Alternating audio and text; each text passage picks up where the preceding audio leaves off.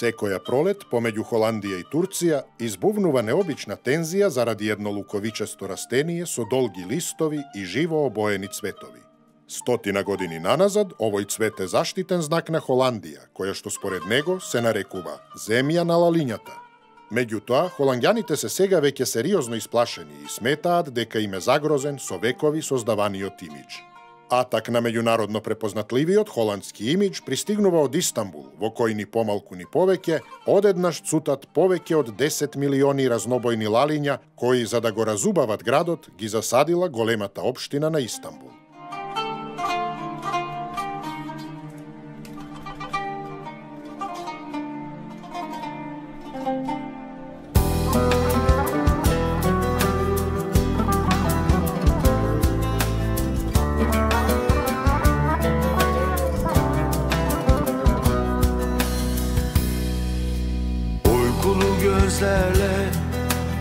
Döndüm rüyamdan. Sana sarı laleler aldım Çiçek pazarından. Sen olmasan buralara Gelemezdim ben. Sevemezdim bu şehri Anlamazdım dilinden. Nasıl bir sevdaysa bu karşı koyamam. Dayanamam kıskanırım Satırlar uçar gider aklımdan Sana sarı laleler aldım Çiçek pazarından Војната за лалињата почна уште пред неколку години, кога наопшто сгрозување згрозување на холандјаните и паралелно со милионите расцутени лалиња во Истанбул, познатата турска поп група МФО испеа песна под име Жолти лалиња. Таа песна стана голем хит, а несреќата за холандјаните да биде уште поголема, нејзините акорди одекнуваа и од кафулињата на турските гастарбајтери во Холандија, забодувајки се како нож во срцата на лалите во Амстердам. Заради тоа, холандјаните толку се загрижија што проблемот стигна дури и до самата влада, која тогаш најави дека ќе бара заштита на загрозениот национален имидж пред судот за човекови права во Хаг.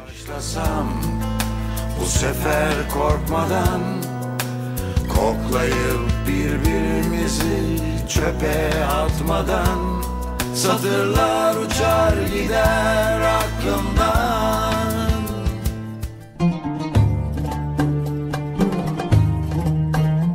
Меѓутоа, со сето уважување на холандското присвојување на лалињата и нивната пречувствителност кога е во прашање ова цвеќе, ваквото параноично реагирање на холанѓаните нема голема основа, бидејќи турците, исто колку и самите холанѓани, имаат право да се нарекуваат земја на лалињата, дури и далеку пред Холандија, и дека ова цвеќе Холандија всушност своевремено го има увезено токму од Турција.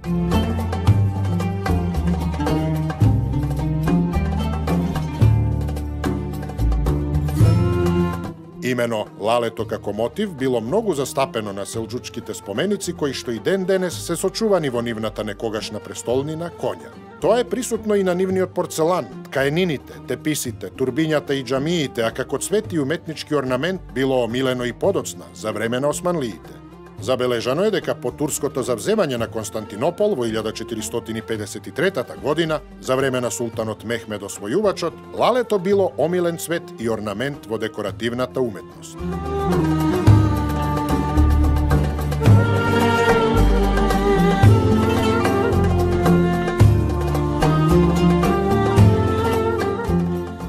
Во османлиската историја постои дури еден цел период наречен период на лалиња, Тој траел рамно 12 години, 2 месеца и 11 дена за време на владењето на султанот Ахмед III од 1718 до 1730 година, кое временски се совпаѓа со неограниченото управување на големиот везир Дамад Ибрахим Паша.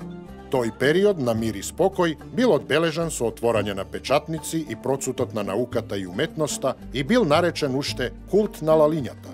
Во тој период биле произведени повеќе од стотици видови лалиња, за кои што во тоа време пишува и најпознатиот османлиски поет Недим. Историчарите бележат дека од сите нешта во империјата била најскапа луковицата на лалето и дека Истанбул станал заробеник на лалињата. За султанот Ахмед III се наведува дека подеднакво бил љубител на жените и птиците, лалињата и карамфилите, огледалата и светилките таткото на 31 дете, бил нежно љубен од своите сопруги кои што секогаш одново ги забавувал со лалиња и сладки.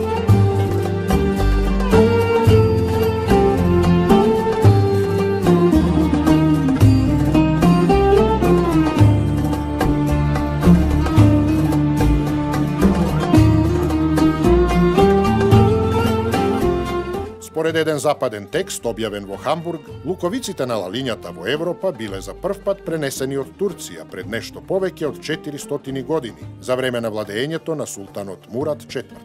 Таму ги донел виенскиот дипломат и пратеник на царот Фердинанд II на Османлискиот двор, Ожје Гислен Бузбек.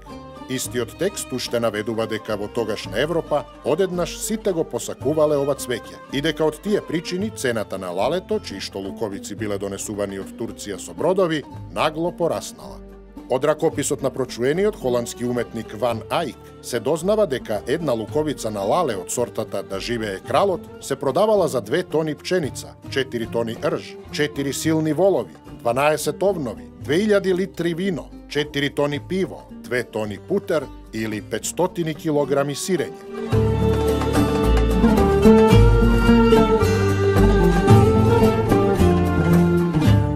Овие фрапантни суми и вредности биле вовед во она што денес е составен дел на холандската индустрија, која што денес е најголемиот произведувач на лалињата на светот. На Турција и остануваат само спомените од историјата и 10 милиона осамени истамбулски лалиња, кои секоја пролет се само подсетување на еден романтичарски период на османлиската историја, кој објективно не може да го загрози сегашниот холандски имидж.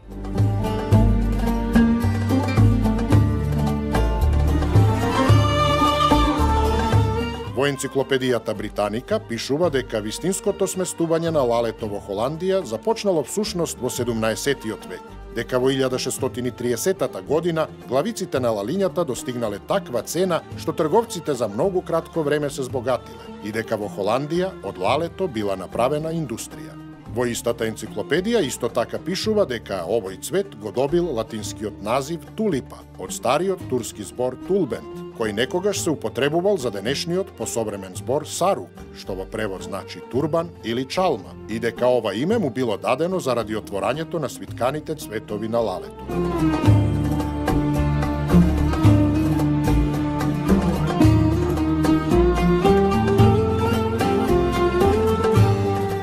Македонскиот јазик пак името Лале дошло преку турскиот јазик, од другиот персиски назив за ова цвеќе Лале.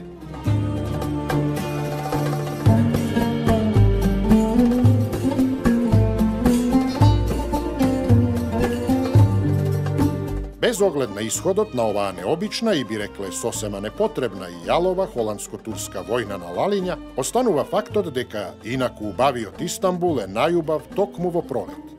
Тогаш во неговите паркови и на булеварите цутат милиони лалиња и секоја година се одржува веќе традиционалниот фестивал на лалиња. А во неговите рамки на плоштадот Султан Ахмет, на просторот помеѓу сината џамија и Аја Софија, секоја година одново се постела најголемиот и неповторлив тепих од лалиња.